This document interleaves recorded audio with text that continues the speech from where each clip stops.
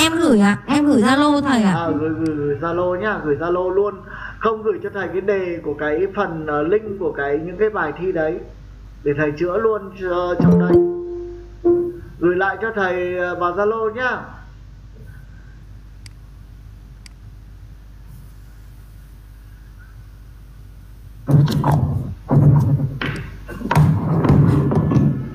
Gửi lại cho thầy ờ, luôn em ơi.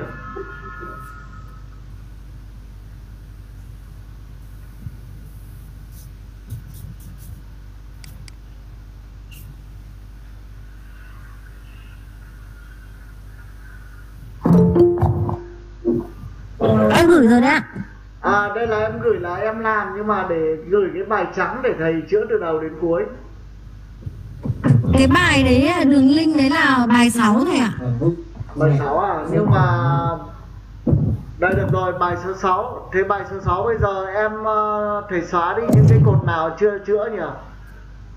Đây của em làm xong rồi đúng không? vâng ạ thầy tích vào đấy xem cái nào có công thức thì xóa đi ạ Ờ em gửi cho thầy câu trả lời, câu hỏi của nó đi.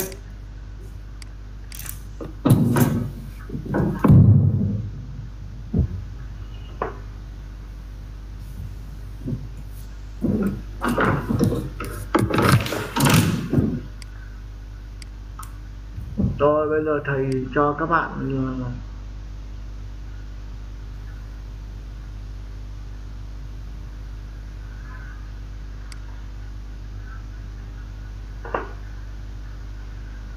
Rồi bây giờ lớp lớp chúng mình sẽ làm bài này nhá.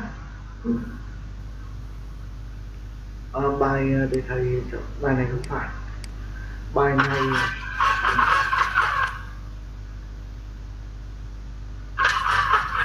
bạn nào đấy?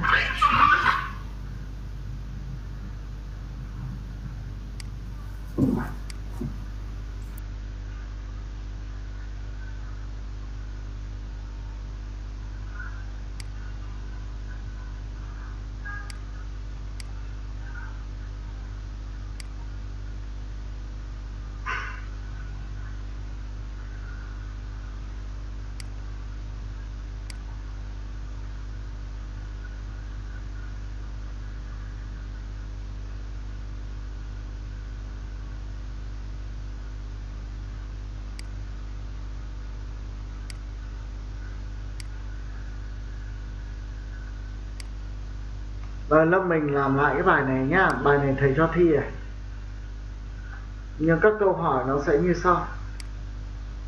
Các câu hỏi nhé Các câu hỏi này.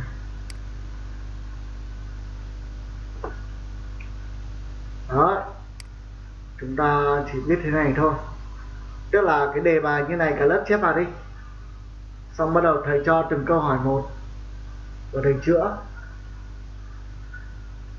chữa cho đúng trọng tâm.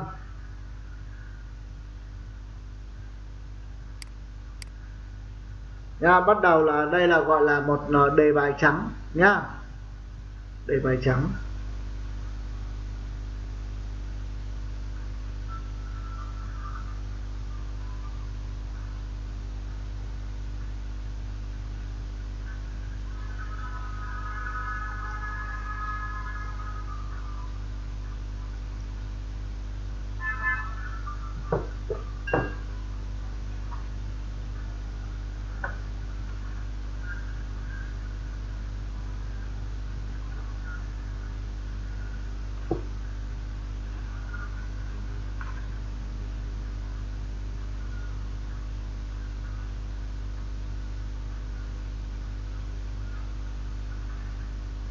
Xong thời lượng hết cả đêm để làm uh, báo cáo các thứ để nộp cho nhà trường.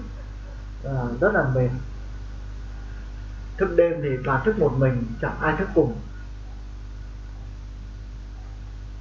Ok rồi bạn ờ, đông kiểu vào tham gia.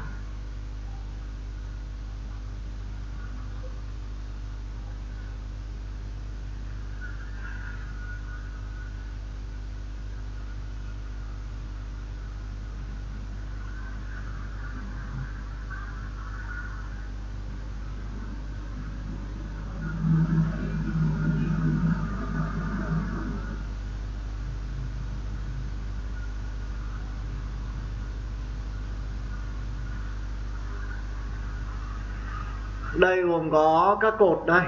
À, số thứ tự nhá chúng ta làm 10 người thôi cho nó đơn giản. À, ngàn người thì nó nhiều quá thì các anh các chị phải nhập. Nhiều chỉ cho 10 người thôi. Đó gồm có này lương cơ bản này phụ cấp này. Ai kích ra của em ờ, đông cửu đâu nhở? Không ai kích đâu.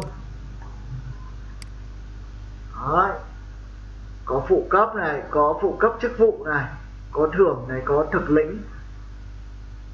Có thực lĩnh.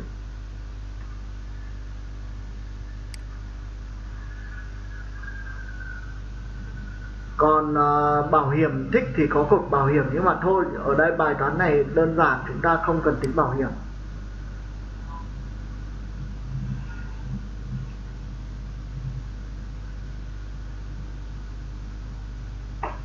Được rồi đấy nhá. Đấy là ấy, bây giờ thầy sẽ viết cho chúng ta cái uh, yêu cầu của bài toán.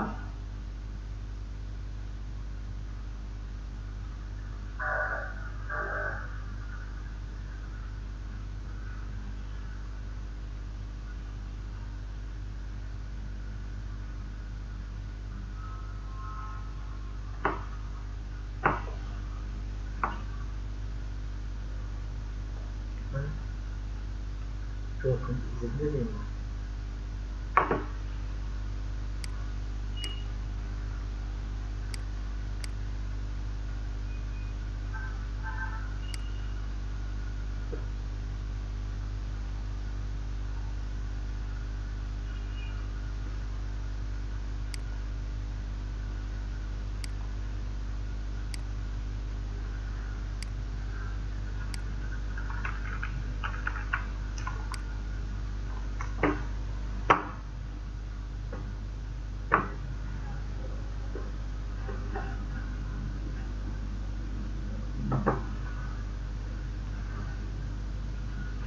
Để thầy uh, viết bằng bút cho nó nhanh.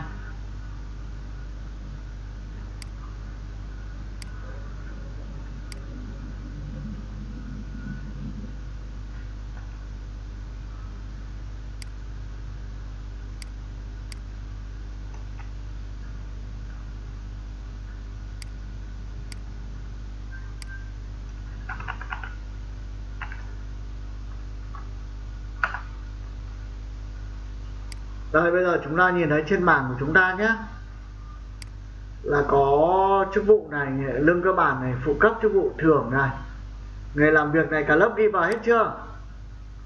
Bảng này xong chưa?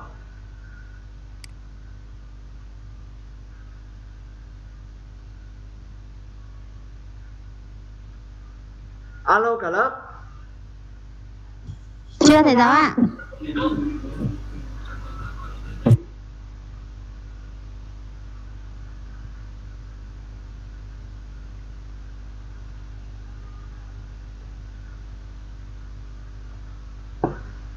chúng ta còn ờ, uh, lịch còn ờ, hai buổi ba buổi ôn nữa là chúng ta kết thúc.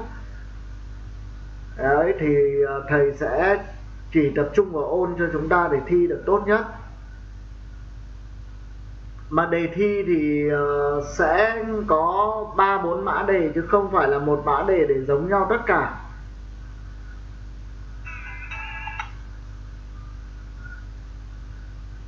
Cho nên là các em phải quan sát tất cả các buổi học để chúng ta chúng ta chú ý đến cái phần ờ, bài ờ, cái đề. Đề nó gần giống như này, gần giống như sát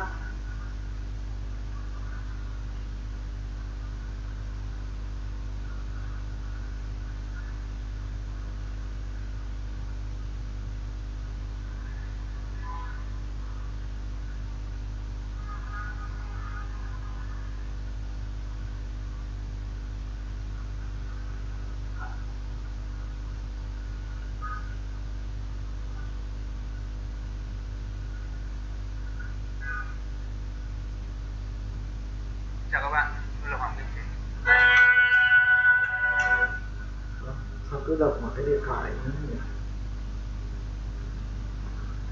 rồi, bây giờ chúng ta ghi cho thầy nhá.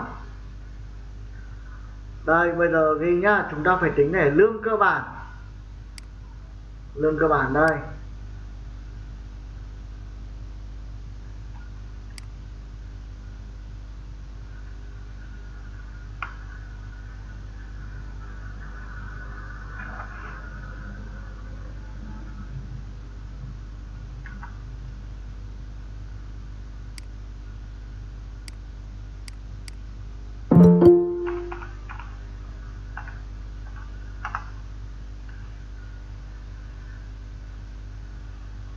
Thỉnh thoảng lại có một anh vào. Cả lớp ghi cho thầy. Lương cơ bản. Cả lớp ghi nhá. Tính lương cơ bản.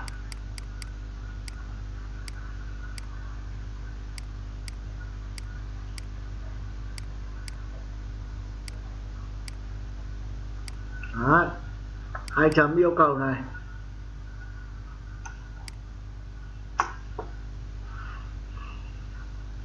Yêu cầu thứ nhất là công nhân. Thì lương cơ bản là 350.000 đồng một ngày công. Ca, trên một ngày. Đấy. giám đốc. Lương là 650 k trên một ngày. Tiếp theo trưởng phòng. Trưởng phòng 450 k là ngàn đấy trên một ngày. Đấy, đây là trưởng phòng nhá rồi tiếp theo là chúng ta còn thư ký. Thư ký. Thời viết bằng chuột cho nên là nó không được đẹp lắm.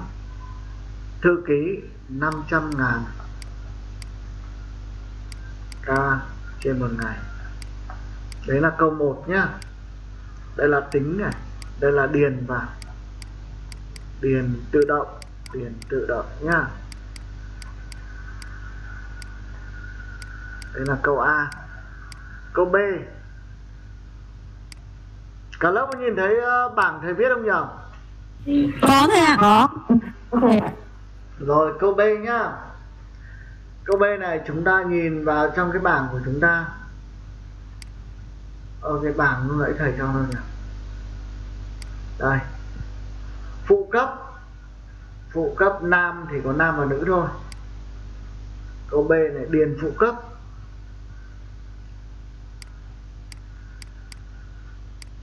Điền phụ cấp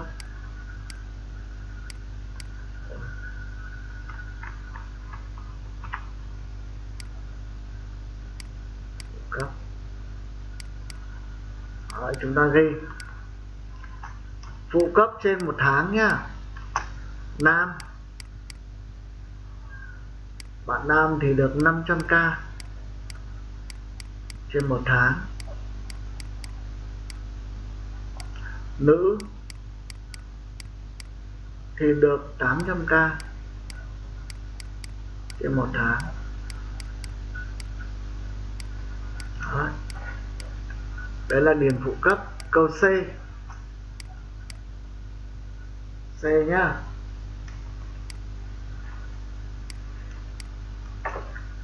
Câu C ở đây là phụ cấp chức vụ. Phụ cấp chức vụ. Là tính phụ cấp chức vụ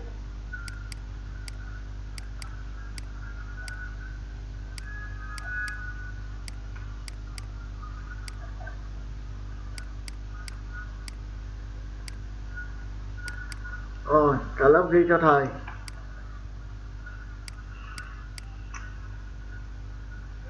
Phụ cấp chức vụ thì chúng ta có giám đốc. Phụ cấp chức vụ trong một tháng nha. Giám đốc 2.000k trên một tháng. Trên tháng nha. Trưởng phòng 1.500 trên một tháng.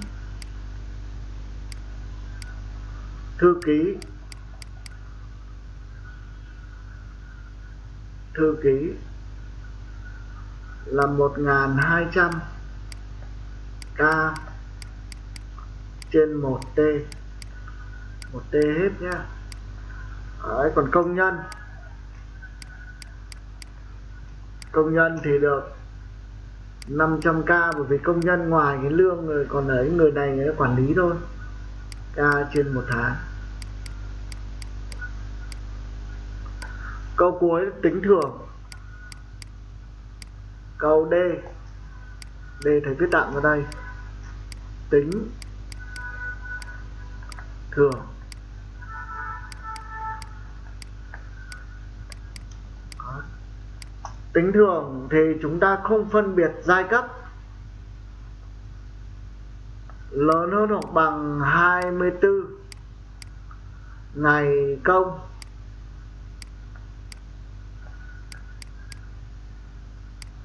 Trên một tháng, thì được thưởng là 2 triệu đồng. Lớn hơn hoặc bằng 20 thì được thưởng 1 triệu đồng.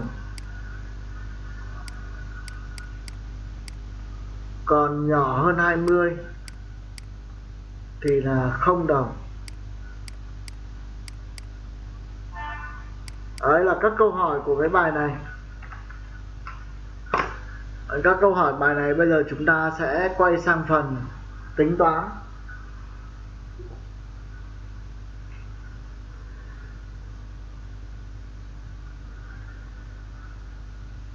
Bây giờ ta đi giải từng câu nhá.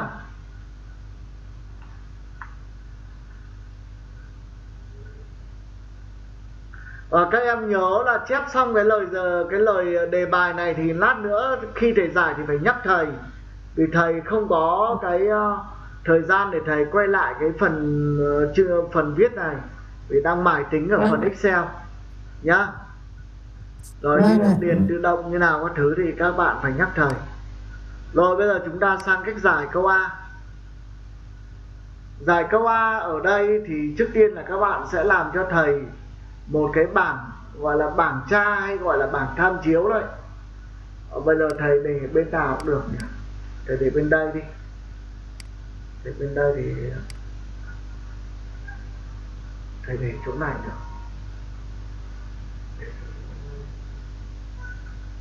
Để dưới này có được không? Dưới này thì à, dưới này thì sợ hơi chật, thôi để trên chúng ta ghi cái bảng bên cạnh nhá. Là bảng tra cứu. Tra cứu. Rồi. Các bạn đặt cho thầy là bây giờ chúng ta bật lại cái kia. Công nhân, giám đốc, thư ký, trưởng phòng. Rồi bây giờ thầy sẽ hỏi từng bạn nhé để các bạn à, nào bây giờ thầy ghi này cái cột này các bạn phải chú ý là cột này phải ghi đúng cái tiêu đề của nó để chúng ta đối chiếu. Chức vụ. Đó, bên này là đó, bên này là chức vụ. Và bên này là chúng ta thấy là lương cơ bản. Lương cơ bản. Rồi bây giờ thầy hỏi này.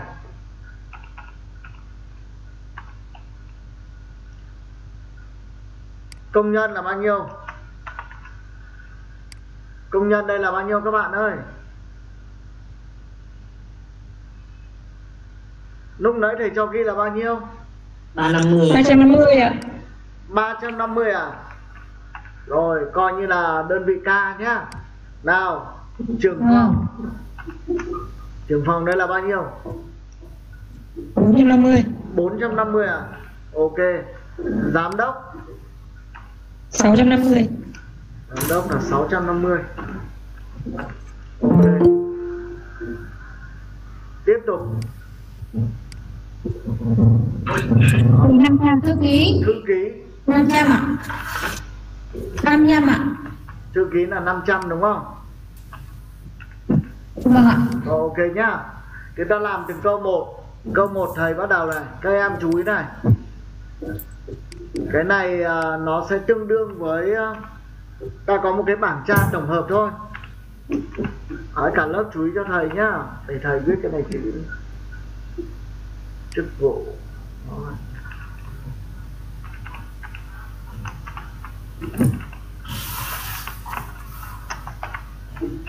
Rồi, thế bây giờ chúng ta có cái này Cái chuyện bôi đen hay không bôi đen thì không vật thành vấn đề.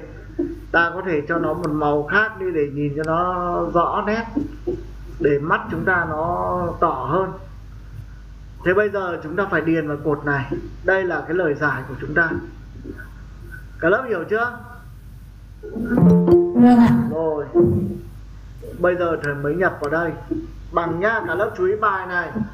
Bài để thi đấy nhá ta hỏi lương cơ bản trước. Bằng. Các bạn ghi cho thầy là v lookup đó. Hàm này để nó đối chiếu chức vụ ở cột họ tên bên đây. Điền điền thẳng vào đây. Rồi.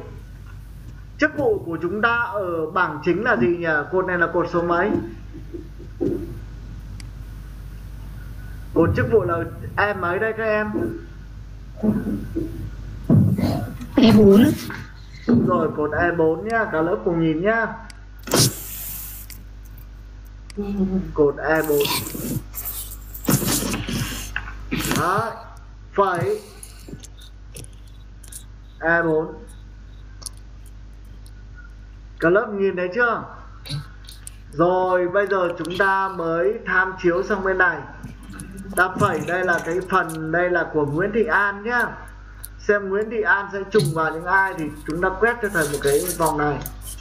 Hình chữ nhật nhớ chưa? Đấy, sau đó các bạn cho thầy một cái đô la đằng trước cái đây. Đó cái này cũng đô la nhá. Cái này cũng đô la. Rồi cái này là bắt đầu này. Phẩy tiếp chúng ta đếm này. Bạn nào đang uh, ấy nhờ đây thì trật tự cho các bạn này bạn thắm bật à? Khi nào mà em nói thì em bật, còn không nói thì em tắt đi. Thì bây giờ chúng ta nhìn thấy chỗ này là chỗ đỏ đỏ đây chính là cái khu vực này. Bây giờ chúng ta phải đếm cái khu vực này nhá, các bạn phải chú ý này. Cái E4 này phải tương ứng với cái cột đầu tiên trong bảng đối chiếu. Đây, cột E4 là cái cột, là một cái ô trong cột chức vụ thì nó nằm ở, nó nằm tương ứng với cái cột đầu tiên trong bảng tra cứu. Chứ không phải là chúng ta lại lấy là bảng ví dụ như là C4 hay là D4 là nữ này, đối chiếu lên đây thì không được. Vì một bên là nữ thì một bên lại là chức vụ thì không thể đúng được. Mà nó phải, các bạn phải tinh mắt là đã là chức vụ thì phải cái cột chứa chức vụ trên bảng chính phải là cái cột đầu tiên của cột của cái bảng tra cứu. Đấy ta muốn làm cái bảng gì thì làm nhưng cái bảng đầu tiên nó phải trùng với cái cột chức vụ ở đây. Tức là đây chức vụ thì đây cũng phải là chức vụ. Cả lớp hiểu chưa? Đó.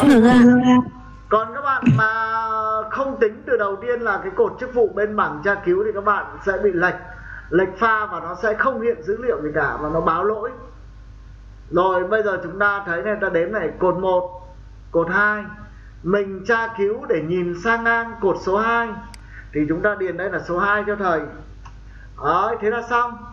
Và chúng ta cho tham số nữa. Đấy. tham số này là số 0 nhá. Thì nó tương ứng với là chu là chu là đúng. Chúng ta có thể đặt số 0 được. Tùy các bạn. Và thấy enter thì chúng ta thấy là công nhân đã đối chiếu lên thành 350 và ta kéo toàn bộ cái bảng này. Đấy.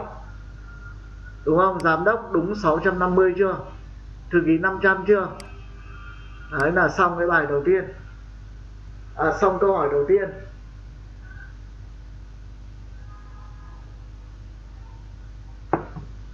Mà các em nhìn thấy này khi thầy chẹn đô la vào thì lập tức cái vùng này nó giữ nguyên đúng không cả lớp nhỉ?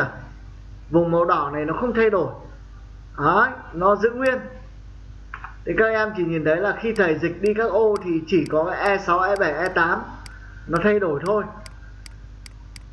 Còn có đô la thì chữ ở đây nó không thay đổi. Tức là cái chỉ số nó không thay đổi. Đấy 6 nó vẫn giữ nguyên 9 nó vẫn giữ nguyên à, giữ nguyên cái vùng này. Đấy là xong cái phần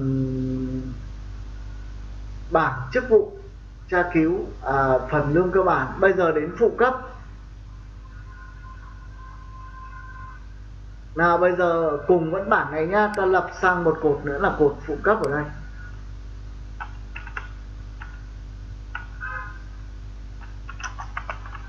Phụ cấp thì chỉ có nam và nữ thôi đúng nhỉ cả lớp nhỉ?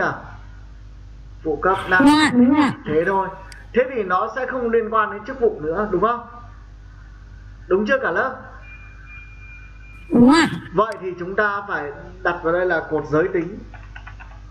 Đây bài này thầy rõ chữa rõ rõ ràng nhất mà để cho cả lớp hiểu nhất mà các bạn không hiểu được nữa thì thầy cũng chịu. Nhá. Đây bây giờ thầy cái bảng này thầy nam thì phụ cấp là bao nhiêu bên này? Theo lúc đấy. Nào nam. Nam là 500 nghìn ạ. Ở 500 nghìn đây. 500k nữ là 800 ạ. 500k đấy ta vẫn cứ viết chung một vùng này cũng được không sao cả nhưng miễn là phải đúng cột. Nữ.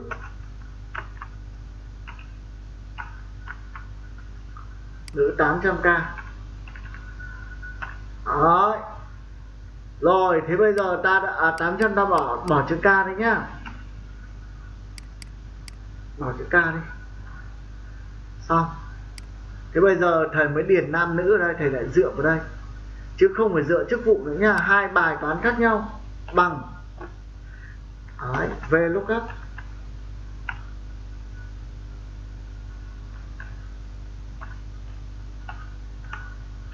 Đó. được chưa? Thế bây giờ nó là D mấy? D4 nó lại là D4 là bạn An đấy đấy nhá sau mình không cần biết bạn tên là gì nhưng mà mình cứ đúng theo cái ô giới tính ta làm là làm cho cái hàng đầu tiên. Phẩy bây giờ vùng điều kiện chúng ta lại quét như này. Các bạn lại quét cho thầy cái chỗ này chứ không quét xuống dưới nữa. Chức vụ thì nó có giám đốc thư ký nhưng mà giới tính thì nó chỉ có nam và nữ thôi. Thì ta chỉ quét hai hàng thôi. Đúng chưa cả lớp? Đúng ạ. Thầy chỉ quét hai hàng thôi nhá ờ, thầy chẹn đô la cho nó khỏi chạy.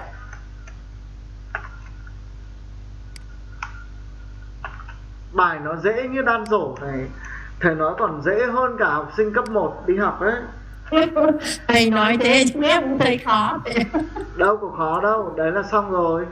Thế bây giờ nhá chúng ta đếm này. Ta thấy cột nữ này tương ứng cột đầu tiên chưa? Trong cái vùng quét này. Hai cái vùng quét nó khác nhau thế thì chúng ta lúc này chúng ta sẽ hiểu ra một cái vấn đề là uh, thầy làm bảng tra cứu nhưng mà cái chuyện mà chúng ta soi nó ở trong cái hình chữ nhật nào là do chúng ta. Ta soi nó phải đúng ví dụ uh, nữ với nam ở bên này thì nó phải tương ứng nữ nam ở đây chứ không nhảy sang chức vụ nữa.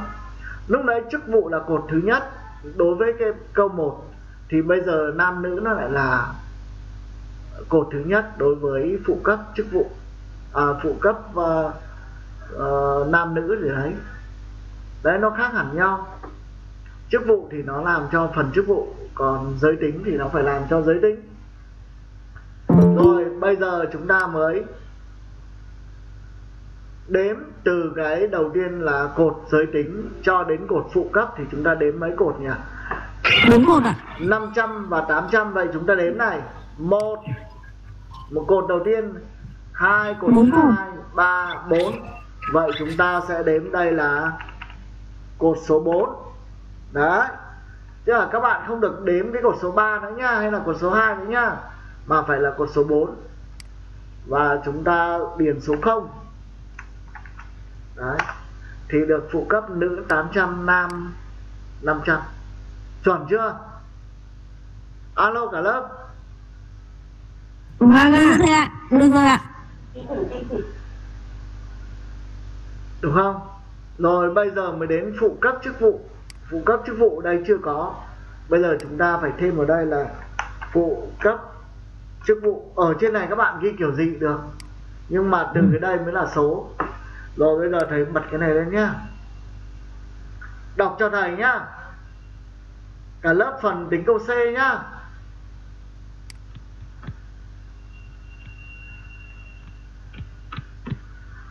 đọc cho thầy nào. Ờ, công nhân là bao nhiêu? Trên một tháng.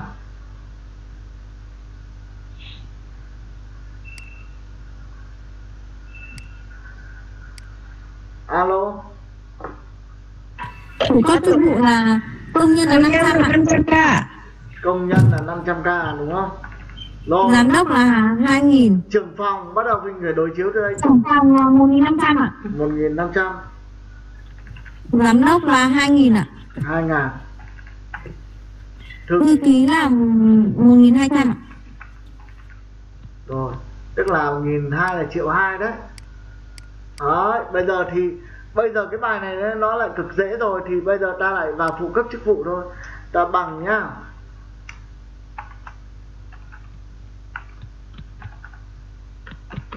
đấy các bạn nhìn thấy công thức thầy viết ở trên đấy. Rồi bây giờ nó lại đến đây lại là E4 đúng không? Chức vụ là đi với chức vụ và nam nữ thì phải đi với cột nam nữ. Rồi bây giờ đối chiếu vùng này thì chúng ta lại không quét từ nam nữ nữa mà chúng ta lại quét từ từ chỗ này đến đây. Đúng chưa cả lớp? Vâng ạ. Đấy ta lại quét cái vùng đấy để đảm bảo là cái cột đầu tiên trong bảng tra cứu phải trùng với cái phần chức vụ và cái phần à, cột ở bên à, bảng bên kia. Tức là nó có vai trò là lưu giữ những cái chức vụ. Ở đây là lưu trữ bên bảng chính là lưu trữ ờ, ở hàng ngàn người chẳng hạn. Thì chỉ có mấy chức vụ này thôi. Đấy, đây là phần tóm tắt để mình tra cứu vào rồi bây giờ bây giờ chúng ta sẽ là vùng này là vùng số chúng ta đếm nhá. 1 2 3 4 à, vẫn là cột 4 vì nó lùi đi một cột uh, sang năm uh, giới tính thì nếu mà tra theo đúng cái cột này thì nó phải là cột số 5 nhưng mà cột nam nữ thì nó liên quan gì đến chức vụ đâu mà ta tra. Ta chỉ tra thẳng với chức vụ thôi chứ. Rồi chúng ta cho số 0 nhá đóng đóng ngoặc lại cho thầy chỗ này các bạn cho thầy đô la. Chỗ này các bạn cho thầy đô la. Chỗ này các bạn cho thầy đô la. Hết. Rồi enter là xong. Đấy nó điền đúng chưa? Đúng với cái bảng. Đúng ạ. Bảng thẳng đúng đúng rồi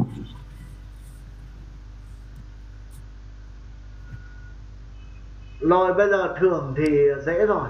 Thưởng thì lớn hơn 24 ngày công thì bao nhiêu nhỉ? Ờ, 24 thì được thưởng 2 triệu nhá. Rồi bây giờ ta làm bài câu thưởng bằng. Ờ, ta lại phải căn cứ vào cái ngày làm việc. À, ngày làm việc trong tháng. Đây là S4 đúng không? Chúng ta sẽ nếu F4 ít. mà bằng lớn hơn hoặc bằng 24 phẩy thì sẽ được 2 triệu nếu không thì mở ngoặc tiếp F4 lớn hơn bằng 20 thì được 1 triệu. Còn lại là 0 triệu. Hết. Xong câu thưởng. Cho xuống. Rồi. À, bạn này làm 19 ngày cho nên không được thưởng. Đúng không cả lớp nhỉ? Chuẩn chưa? Bạn Trần Thị Hồng này làm uh, có 19 ngày cho nên là không được thưởng.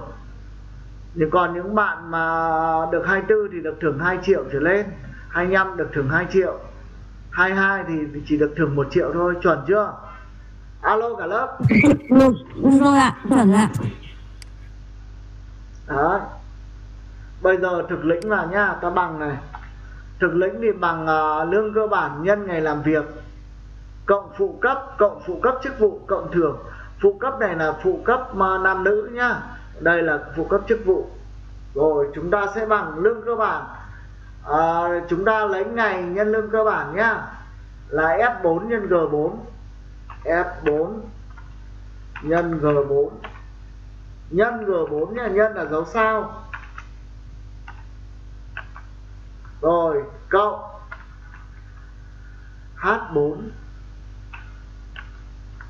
cộng H4 là phụ cấp cộng thôi trong cuối tháng thôi. Cộng phụ cấp là Y4 cộng thưởng là J4 Enter. 1350 1350 10 triệu 350 k đúng không? À, lương khá phết đấy chứ nhỉ? Ôi rồi giám đốc này được 14 triệu 800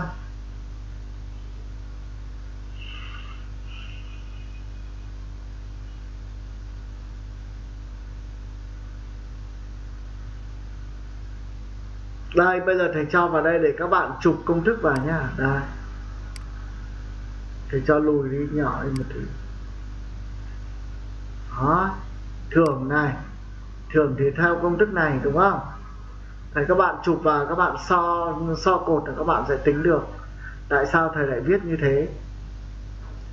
Bởi vì F4 là cái F ngày làm việc thôi mà, thì phải là ghi F4 lớn hơn 20 à lớn 24 thì 20 triệu.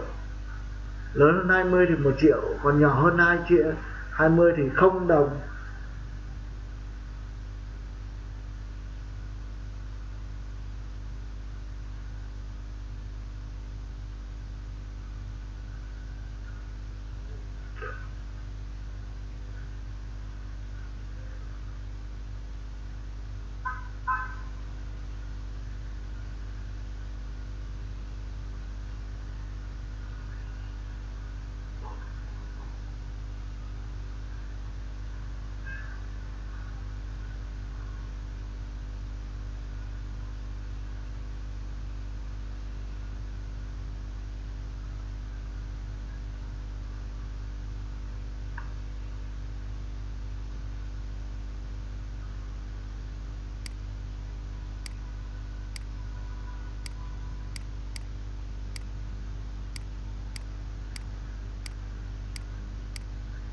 Bài này có cần ờ, phải ờ, thầy lưu vào trong ờ, cho lên